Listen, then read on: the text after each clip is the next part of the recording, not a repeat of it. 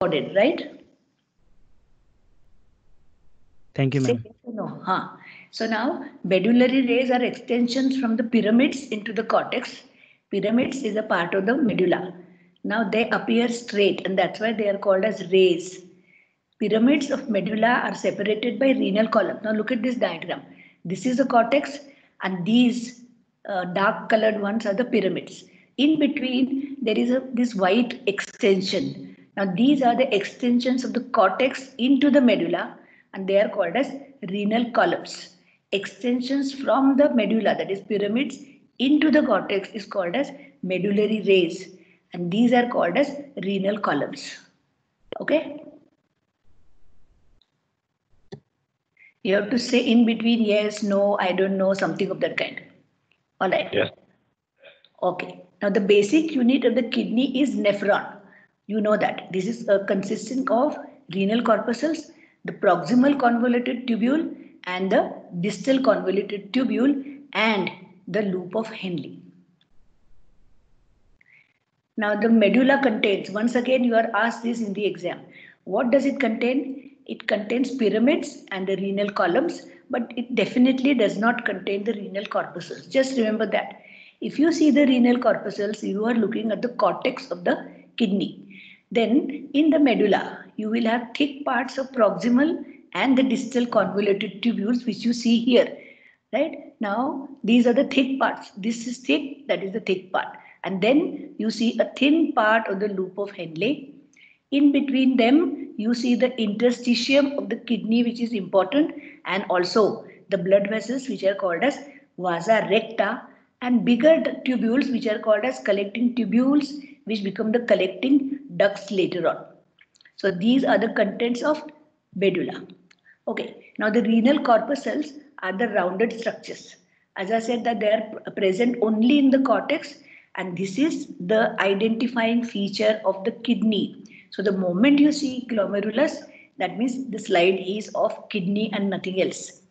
Now it has got two parts, glomerulus and the Bowman's capsule. This is glomerulus and this is a Bowman's capsule. Now the glomerulus actually means a ball of thread. When you are knitting all that uh, wool you make a ball of and that is how the glomerulus looks like and this glomerulus resembles something like that so it is a rounded ball like structure and it is made up of afferent and efferent vessels now the afferent vessel is thicker broader and of course this one is thinner. This is efferent vessel. Afferent vessel is a branch of renal artery. All right? We'll come to that later. It enters a bowman's capsule then it divides branches forms capillaries. These capillaries gather once again and they form the efferent arteriole. Remember the words, it is an arteriole, it is not a vein because hardly any oxygen has been taken from the blood here.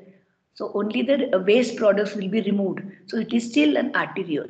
Now this arteriole after coming out from this glomerulus will go to the medulla and will supply all these tubules. So Bowman's capsule surrounds the glomerulus. It has a vascular pole. Now look once again, this is a Bowman's capsule. It has been indented by these blood vessels. So it has got two layers. It surrounds the glomerulus. It has got a visceral layer which closely surrounds all arterioles, capillaries, etc. And the parietal layer which is away from it. And this parietal layer is lined by simple, simple squamous epithelium. Between the visceral and the parietal layer, this space that you see is called as Bowman space or the urinary space. Now it has got two poles. It has a vascular pole and exactly opposite that, it has got a urinary pole. Now, vascular pole actually from here the afferent arteriole enters and the efferent arteriole leaves. While from the uh, urinary pole, the proximal convoluted tubule begins. So here you can see the glomerulus. This is how it will appear in the slide. So this is all glomerulus formed by the blood vessels. And you can see the parietal layer very well uh, flat elongated nuclei which are actually the simple squamous epithelium as you can see. This is a Bowman space. This is a Bowman space. Once again, glomerulus and the simple squamous epithelium. Now this is how in low power or 10x the slide of kidney will appear. These are all renal corpuscles, glomerulus and the Bowman's capsule. The moment you see these, it is kidney and nothing else. It's very unique. All right. Now, afferent arteriole brings the blood for filtration. All waste products are removed in that Bowman space and the blood is returned by the efferent arteriole, which I told you will go towards the medulla and supply the uh, renal tubules. Okay, now parietal layer has simple squamous epithelium, while the visceral layer that we need to pay attention, that has got specialized cells. They are called as podocytes. Podocytes look like feet, like podo is referring to the feet. So it is made up of, this is a podocyte. Look at the yellow color or light yellow color or cream or whatever color you want to say. Okay, it has a rounded body. It has got a prominent nucleus and it has got primary and secondary processes. Now what you see here, where my cursor is following here, this is a primary process. The primary process, they are surrounding the arterioles. Now these are the blood vessels, okay? Uh, afferent arterioles. Okay, so it is surrounding it. Now it gives rise to secondary processes. Now do you see this? They look like actually the toes. If you can, then say yes, please. Can you see? Yes, ma'am. Yes. So yes. Secondary processes. You look at the secondary processes, they are actually in contact with the walls of the arteriole. This is an arteriole and this is a secondary process and they are in contact with each other. So see once again, podocyte, primary process, these are the secondary process and they are actually touching uh, the arteriole, wall of the arteriole. This is still better. You can see the secondary process in contact with the wall of the blood vessels. All right. So now the uh, this one uh, primary and secondary, mainly secondary processes, they are directly attached and secondary foot processes of the adjacent cells, they interdigitate with each other. Now, do you see this cell? No, see this primary process.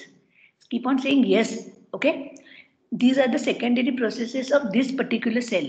While this is a mm, primary process of this cell and these are these secondary processes.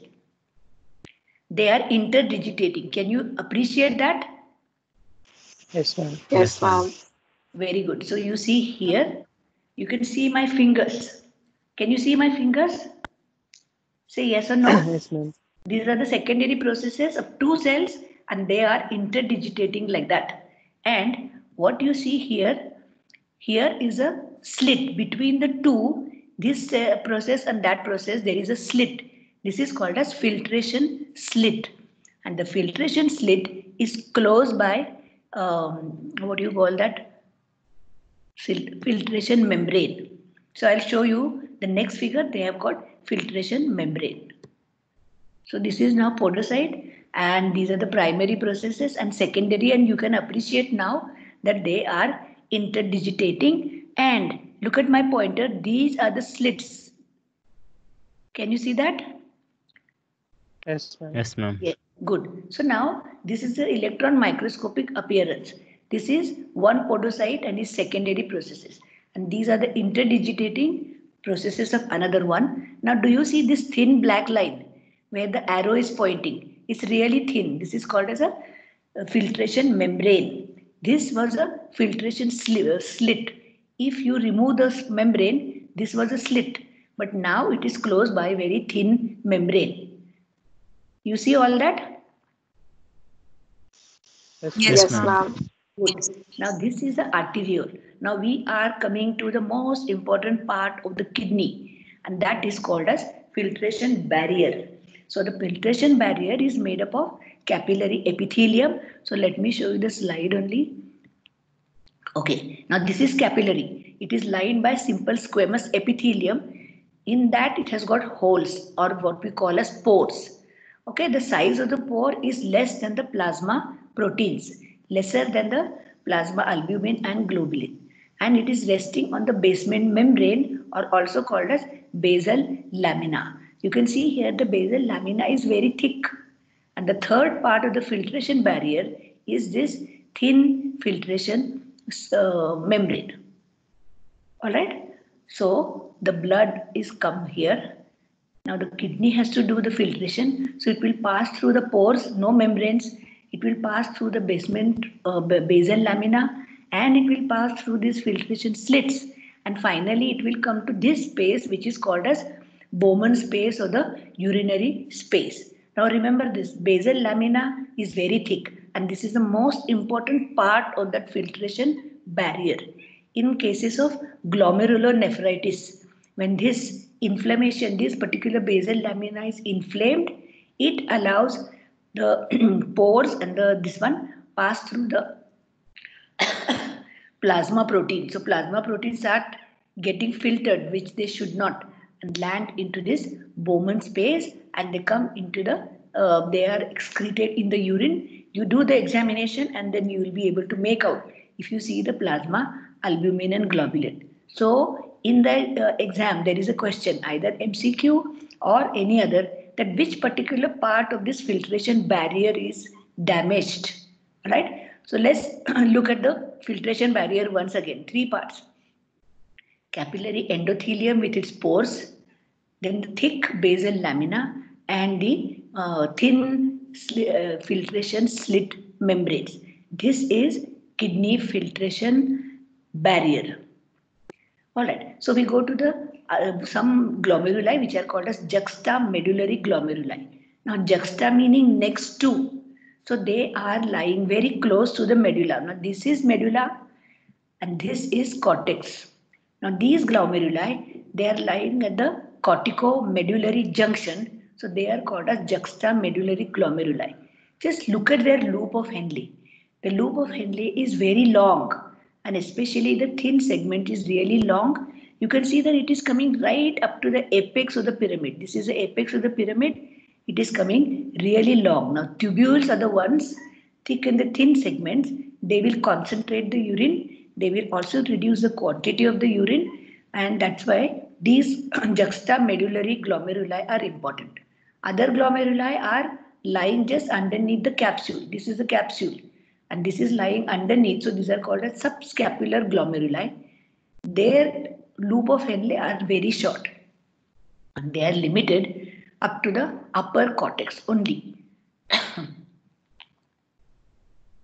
so now we come to another important part and that is the tubules. The tubules, they begin from the urinary pole of the Bowman's capsule. As you can see here, glomerulus, urinary pole, and the first thing that begins is called as a proximal convoluted tubule. This is proximal. Then it forms a loop of Henle in the medulla. All this red color stuff is medulla. And then it comes up once again in the cortex and it forms a distal convoluted tubule. Right? So only up to the distal convoluted tubule, it is a part of the nephron. Okay. So now this is for the practical importance. So just pay attention here. Convoluted meaning it is twisted, folded or coiled. I think you will be able to visualize what is this coil, twisting and folding. You will be? Hello? Will you be able to? Yes, ah, good. Right. So proximal convoluted tubules, their major portion, they form the major portion of the cortex other than the glomeruli or the Bowman's capsule. Why? Because they are longer and they are much more twisted and folded. So you will see many loops and many cut sections of the proximal convoluted tubule, which I am going to call for short now as PCT. All right, just remember that. You will see many cross sections of PCT in the cortex. Now, convoluted tubule remains convoluted only in the cortex. Later on, it becomes comparatively straight and it becomes or it goes into the medullary ray then it becomes a straight tubule. Okay. Now this straight tubule was a content of collecting or the medullary ray. After forming the straight tubule, it goes into the medulla. In the medulla, part of this straight tubule also extends and then it forms loop of Henle. Anyway, coming back to proximal convoluted tubule, 85% of water and sodium is reabsorbed in the proximal convoluted tubule, only in this convoluted part, right, from the glomerular filtrate. In the glomerular filtrate, it's about two, uh, 200 liters is formed every day.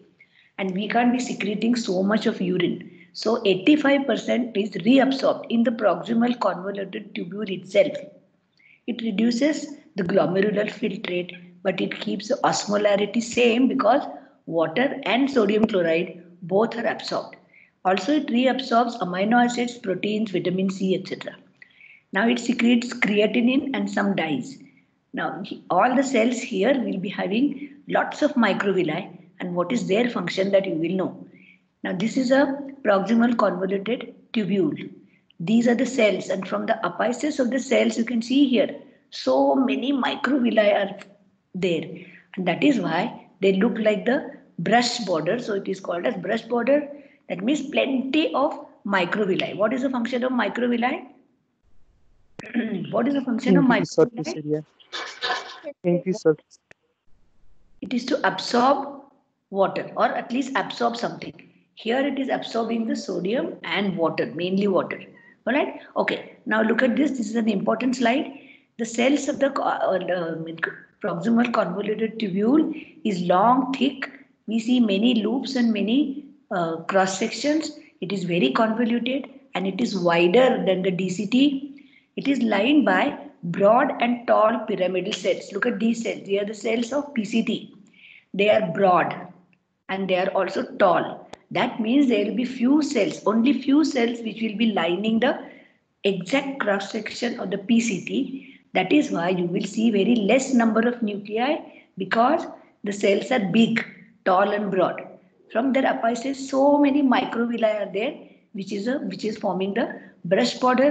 Now these microvilli they project into the lumen, and that is why you will see the lumen of PCT very small because everything is occupying uh, by the microvilli. All right. Now cell, cells of microvilli, they stain very eosinophilic and this is again an identifying point. The nucleus is pale round in the center of the cell and I told you lumen is small because of the microvilli being projected in it. Now these, this is a PCT.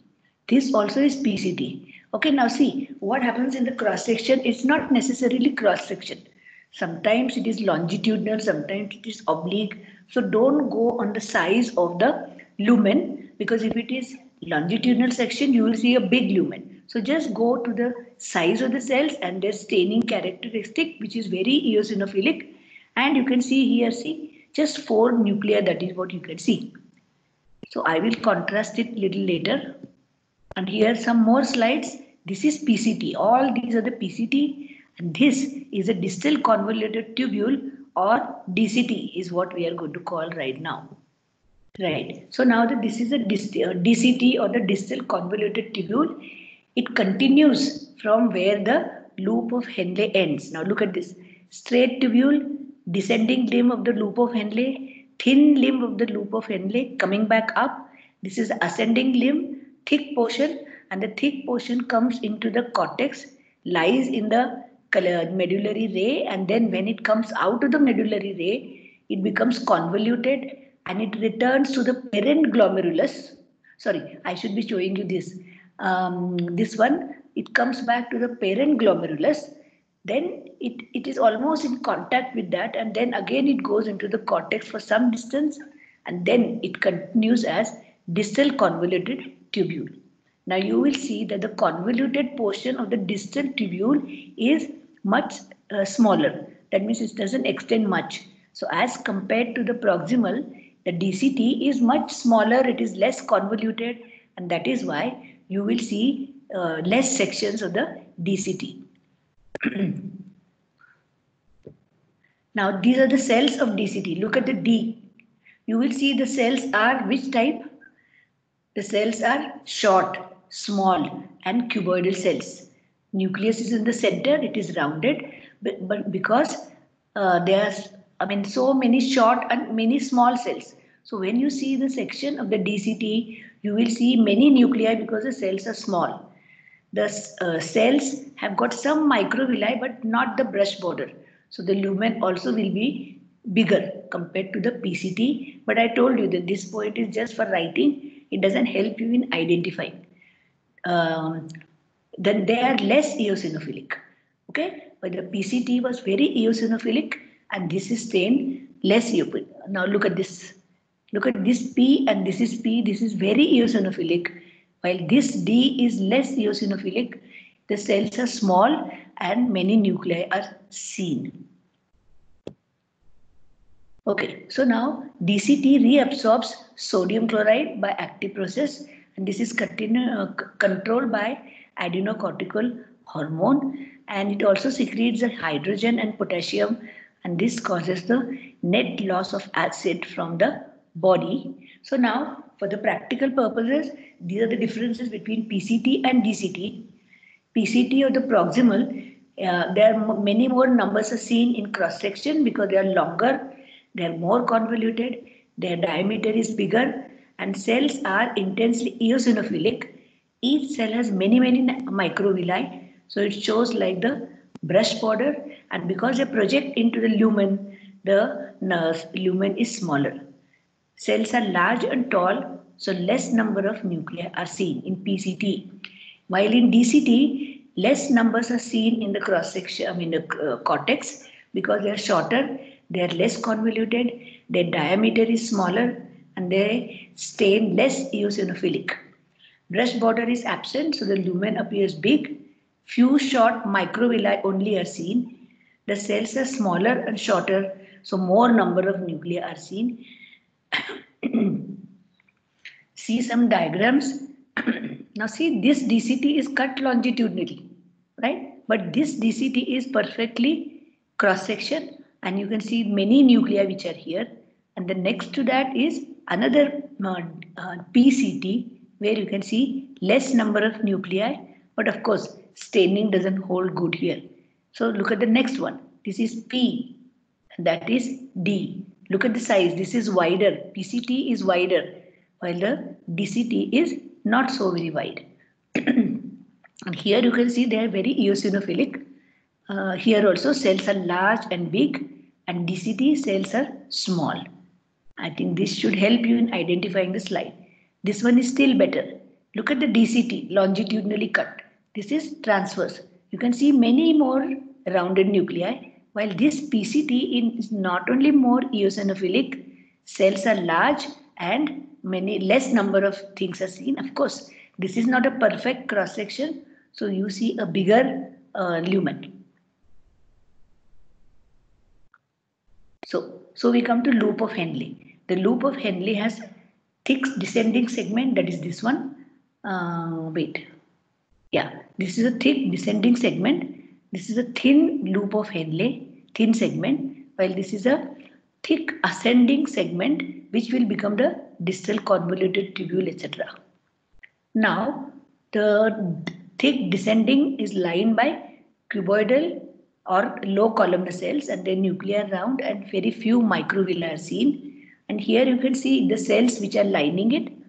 Thin segment is smaller in diameter and you can mistake the cross section of the capillary with this uh, thin segment of loop of Henle.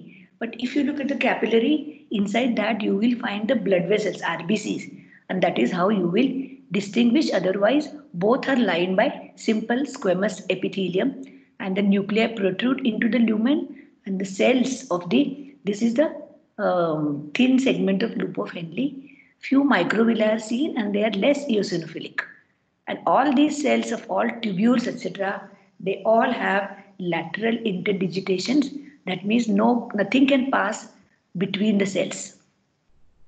Right, now the ascending limb is uh, wider. This is the ascending limb. Now let me see. The blue color is proximal as it begins from urinary pole, while the, this red color or whatever is distal convoluted and this is also ascending limb. See the ascending limb is wider than the descending limb, thick segment. It is also lined by cuboidal cells. There are lateral interdigitation and you know how it looks now. Okay, So now collecting tubule is not a part of the nephron. So now this gray color thing or whatever is a collecting tubule. It is not part of the nephron. It begins where the distal convoluted tubule ends and keeps on going through the uh, medullary rays and it goes down into the medulla. It will keep on rece receiving more DCTs and in the medulla it will keep on receiving other uh, collecting tubules and finally they will become a big duct. This is called as a collecting duct of Bellini and there it will become still wider and it will open onto the apex of the pyramid. So this is a renal pyramid. This is its apex and you can see here that it is like a sieve. So many collecting ducts are opening in it. And it transmit the urine to the minor calyces. So here is the minor calyx that becomes, I mean, you can see here it becomes wider and wider. And let's see the epithelium now. The part of the part which is uh, in the cortex is lined by cuboidal cells. As it goes into medulla, it becomes tall cuboidal and then it becomes columnar. The cells are pale, but even if it is CT here, you can't make out much as far as the staining is concerned. But in the slide, you will. Their main job is to reabsorb water. It is under the control of ADH or the antidiuretic hormone and it tries to conserve water in the body when there is less amount of water in the in the body. All right now this is a collecting tubule. It appears largest because its diameter is increasing. This is a proximal convoluted tubule and that is a distal convoluted tubule and you will see this slide is more diagrammatic but it tells you lots of things okay so now here you have gone into medulla right? And you can see here the thick segment ascending or descending, it appears the same. This is a collecting tubule, tall columnar cells. And you can see here thin segment of loop of Henle, simple squamous epithelium. This is a capillary. And see the difference. It has got RBC in it. I think this is from diFiore's uh, atlas, so you will see that. So the next is juxtaglomerular complex. Now juxtaglomerular complex is made up of three things with the cells of the distal convoluted tubule, then cells of the arterioles, mainly the um, afferent arterioles and mesangial cells. Okay, so what happens is that the one part of the distal convoluted tubule, the cells become columnar as you can see here. They are long oval nuclei and they are gathered together so when you see the slide, this part appears comparatively darker than the remaining portion and that is why it is called as macula means a spot and densa meaning thick or appearing dark. So this part is macula densa which is a part of the wall of the descent, uh, DCT. Then afferent arteriole, these are the lining that is epithelium. But the cells which are there in the walls, these are the, what do you call that? uh, muscular cells which form the tunica media, they suddenly stop being long and thin uh, and elongated and they become epithelioid. See here, uh, large round cells and these large round cells, they contain the renin granules and that is why these are called as JG cells, so the juxtaglomerular cells. JG cells are a part of the afferent arteriole, while mesangial cells, they, the in-between cells, they are also long and long and uh, what do you call elongated and and here you see the mesangial cell once again they are between the distal convoluted tubule and the uh, sorry distal convoluted tubule and the afferent arteriole and they are uh, they control i mean they convey the signal from the distal convoluted tubule to the afferent arteriole either to relax or to um, contract.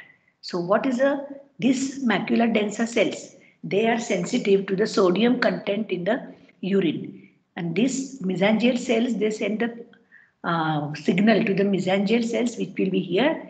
And this is how they reach the JG cells. So the renin will be secreted and we will see what happens to the renin or probably you already know, but let's look at the diagram.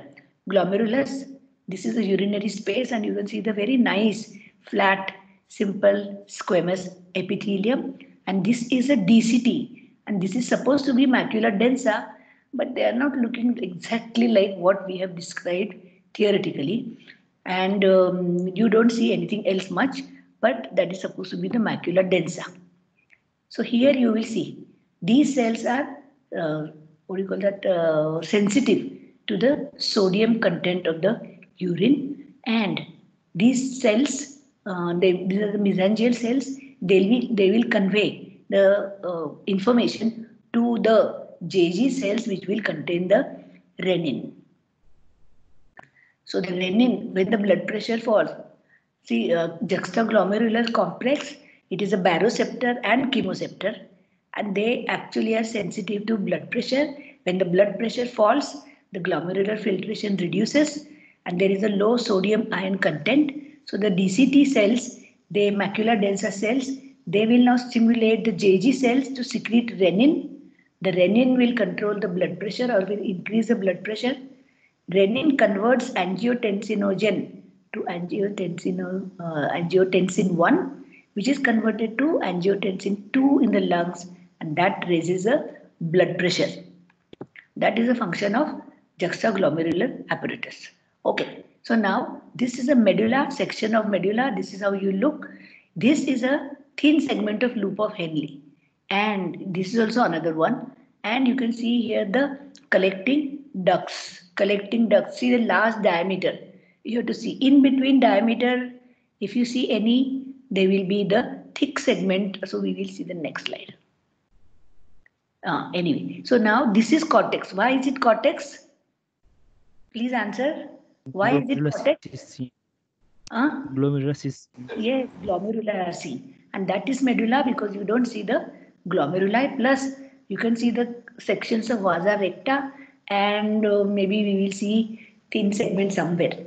Right, now this is a PCT, pale staining DCT uh, and the glomerulus. Plus, these are the longitudinal sections. So probably this is part of the medulla or it is medullary ray because it is appearing very straight.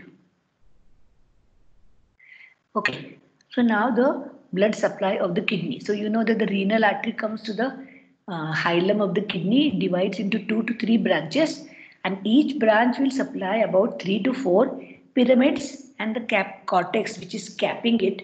So this part, which is supplied by um, renal artery, one branch is called as a renule. It's made up of three to four pyramids with the cortex now the artery gives rise to interlobar branches which are going in between the pyramids. You will see the diagram in a minute. Now they will go to the cortex. At the corticomedullary junction, the artery will make a 90 degrees turn and they become almost horizontal and they are called as arcuate arteries. Now these arteries will again give branches at right angles and they will go into the uh, further into the cortex and they are called as intralobar arteries or sorry intralobular arteries. And these intralobular arteries they will give rise to afferent arterioles. So let's see the diagram figures. Kidney two three branches this is a pyramid and this is a cap on the cortex so let's consider that it is supplying only one pyramid so this will be the renewal. all this will be the renule so here branches of the renal artery. These are the interlobar artery. This is medulla. So now the interlobar artery will go here. That is cortex because you can see the glomeruli once again. Makes a 90 degree turn. This is arcuate artery. Another artery comes from there and goes into the cortex. This is intralobular artery. And here you can see that it is giving rise to many afferent arterioles which are going into the glomerulus. And this is efferent arteriole which is coming out of it. Look at the efferent arteriole. I told you last time that it contains enough number of uh, enough amount of oxygen. So now it can supply something else. So now the efferent arteriole, here it will go form the straight vessels. They will enter the medulla and here they will form the vasa recta.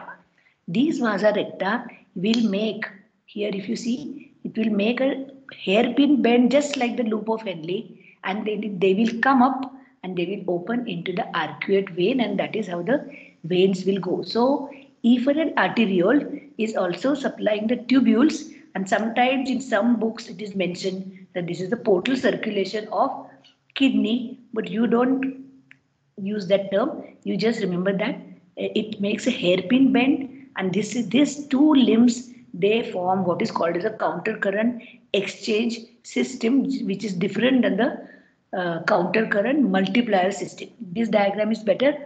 This is the efferent arteriole which is coming out, going into the medulla. This is the arterial part making a hairpin bend.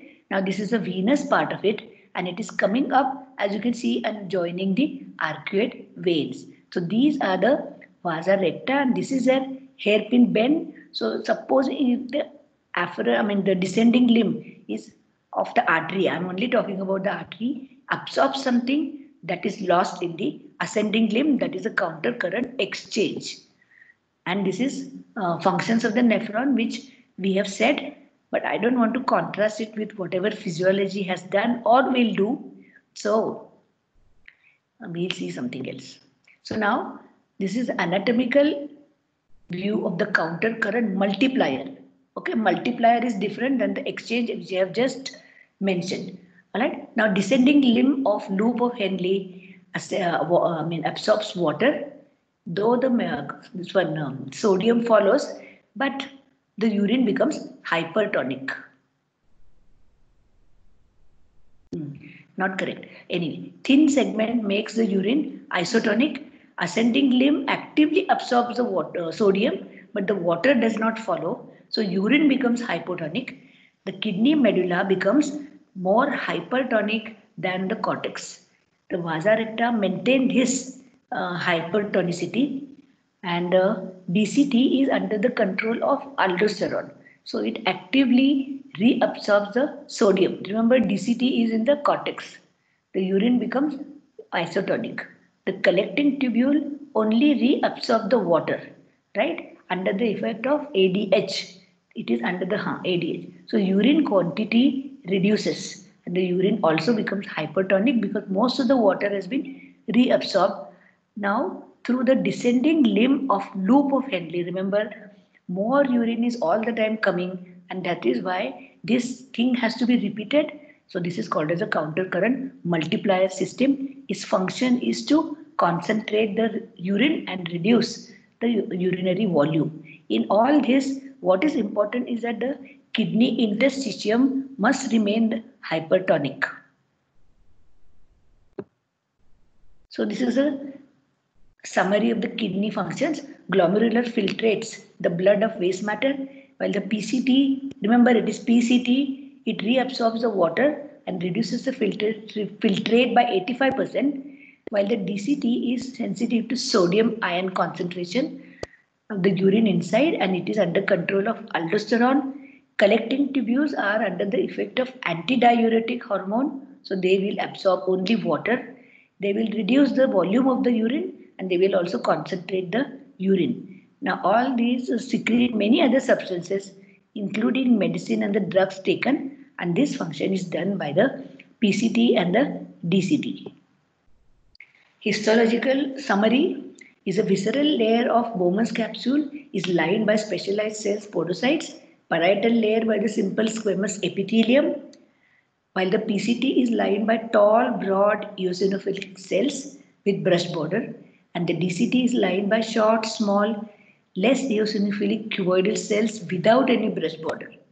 Thin segment of loop of Henle is simple squamous epithelium, while the collecting tubules are lined by cuboidal to columnar cells. Remember, this slide has a star, so this summary you must know very well. Okay, so we finish with the kidney and go to the next part that is ureter. Ureter, you know, is a tube and its function is to conduct the urine by peristaltic movement. It is a tube and that is why its wall has got following layers. First, it is a mucous membrane. Then it is lamina propria. Muscularis, this is mucous membrane. Lamina propria, this is muscularis externa. And then lastly, it is a adventitia. So the epithelium is lined by the transitional epithelium. Lamina propria is thick.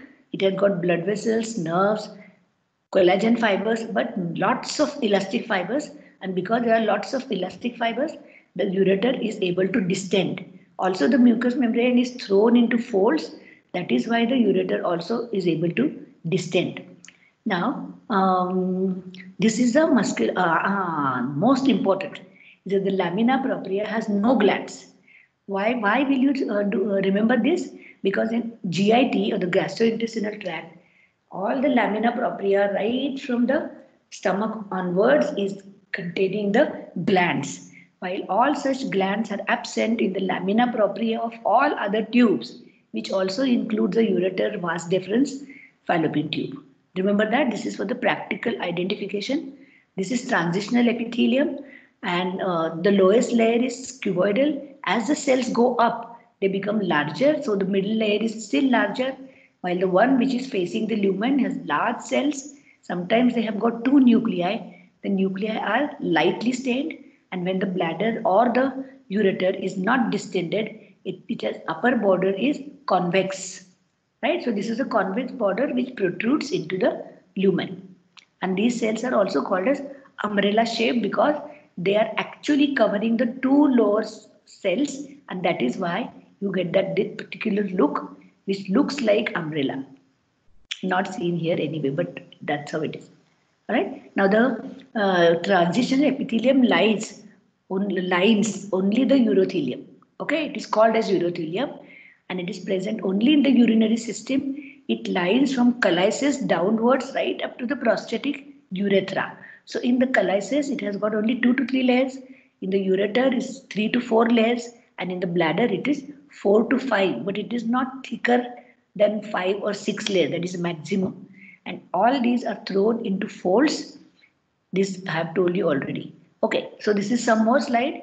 This is convex border which is protruding into the lumen and these cells are supposed to be umbrella shaped. See, they are capping two lower cells and that is how they are called as umbrella cells. Now, the basement membrane of the transitional epithelium is thin. And one more point that you have to remember from the practical point that the in transitional epithelium, the size of the cell increases from the basement membrane to the lumen free border while in the stratified squamous non-keratinized epithelium, it's exactly opposite. Down are the columnar cells and then they become flat cells. So just exactly opposite. The basement membrane is not only uh, thin, uh, but it is folded epithelium. You can see some more diagram here. And now we come to the, um, yeah.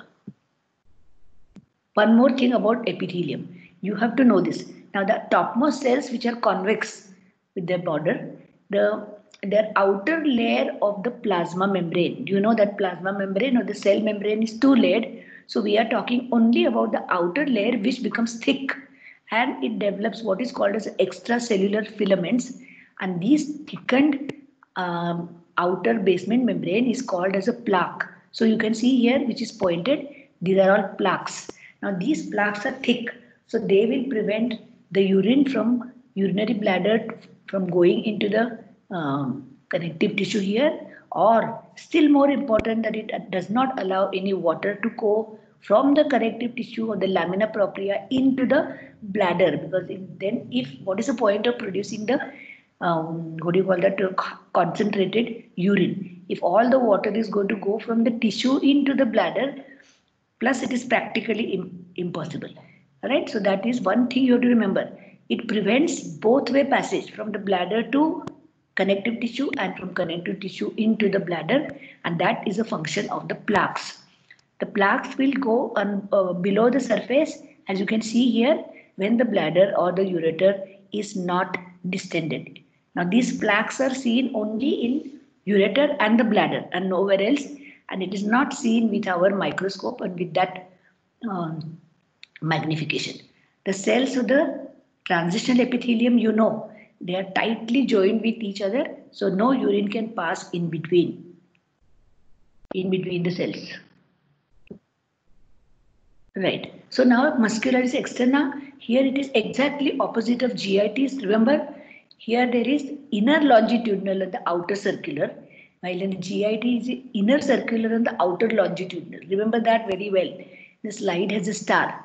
Okay. Now when it enters the bladder, it gets or it might get a third layer which is longitudinal But third layer is hardly ever seen in our slides because we are not taking the slide of the ureter as it enters the bladder.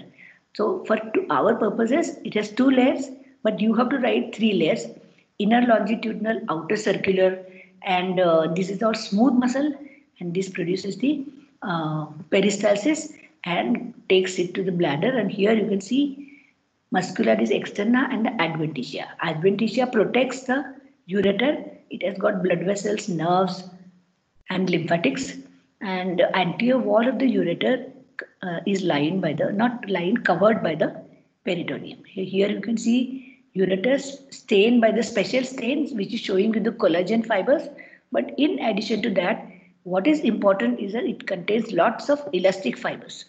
And here one more special stain and here you can see the transitional epithelium, lamina propria without any gland, glands, the mucous membrane thrown into folds so it gives a stellate appearance and there is muscularis uh, and out, uh, this one is adventitia.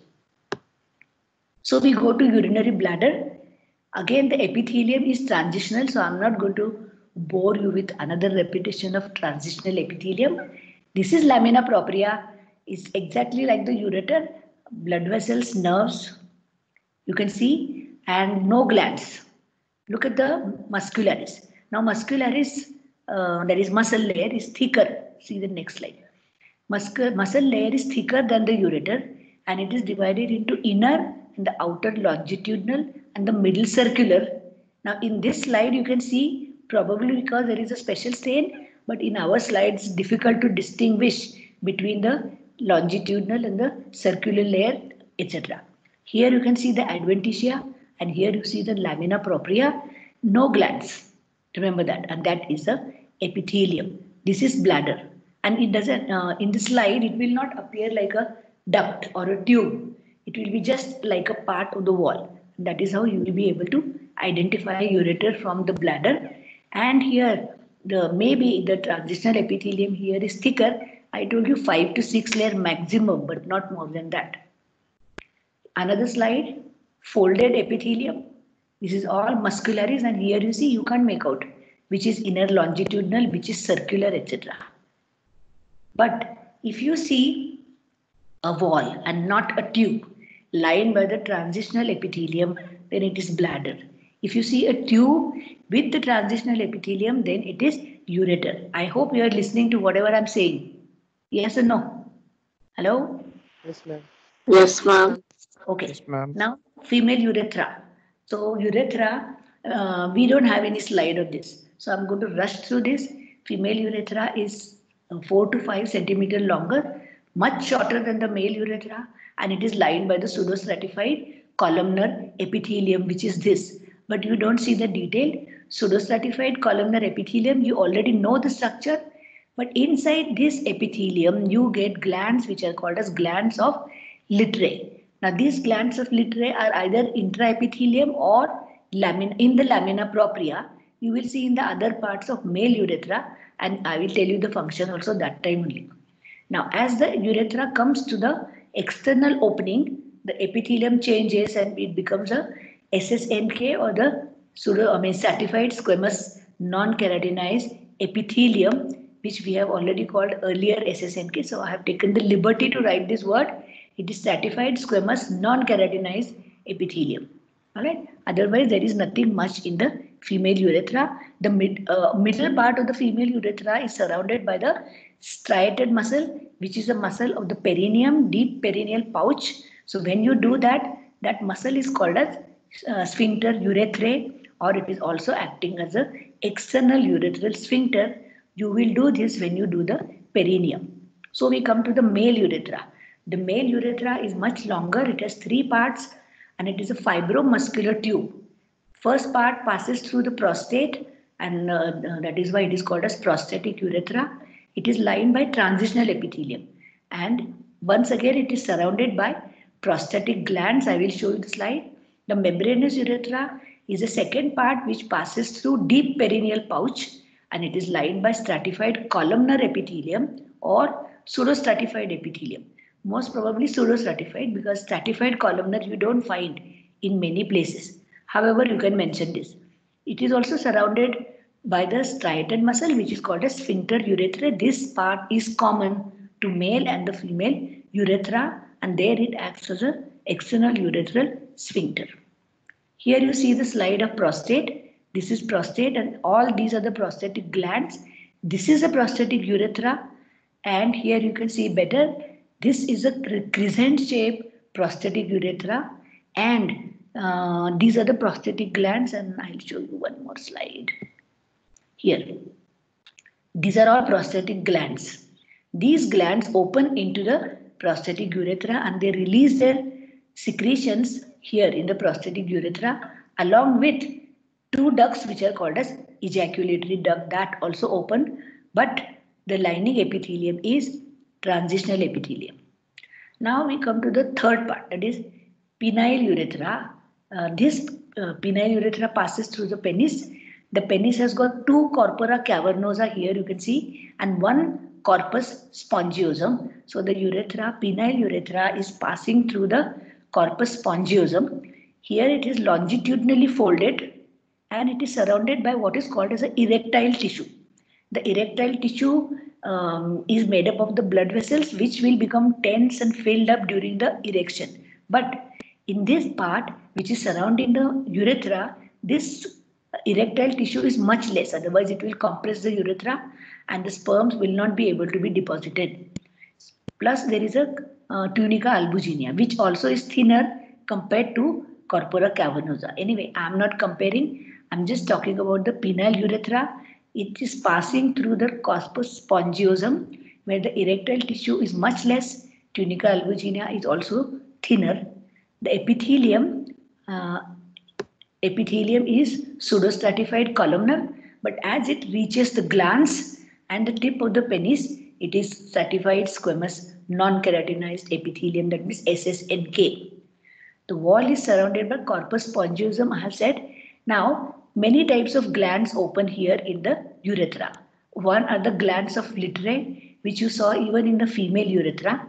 These glands of Littré are submucous here, but uh, whether it is intraepithelial or submucous, they will secrete a mucus-like secretion and this norm, under normal circumstances, it will prevent the pseudostratified columnar epithelium against the toxic urine. I know the urine is not going to remain here for a long time, but the epithelium is also not transitional. Transitional epithelium protects the underlying substance because of the toxic urine. But here epithelium is not transitional, so there has to be something which will line this epithelium and which is the mucus-like substance in the um, glands of Littré. There are two other glands which also open and they are the bulbourethral glands. Uh, let me show you. Actually, bulbourethral glands, they are opening in the proximal part of the penile urethra.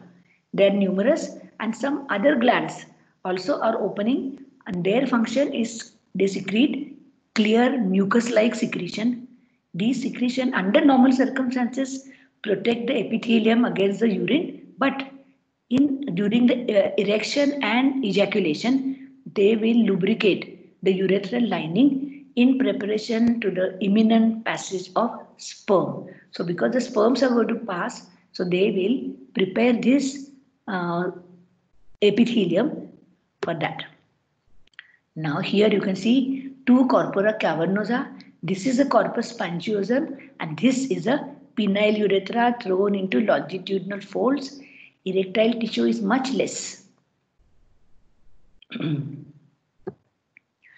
you can see another section here. This section once again is pseudostratified columnar epithelium.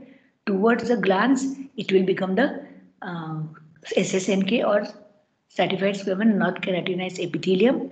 Now in this urethra, urethra, paraurethral, bulbourethral glands of Cowper and Littre's gland, which we have already seen in the section, all these will throw their secretion in the penile urethra.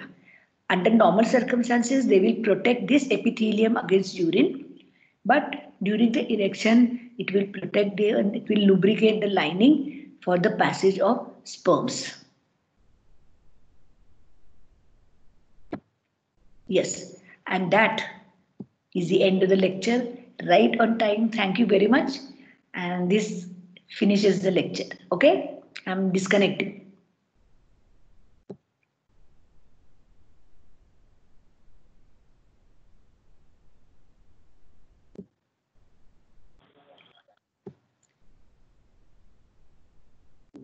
Hello? Yes, ma'am.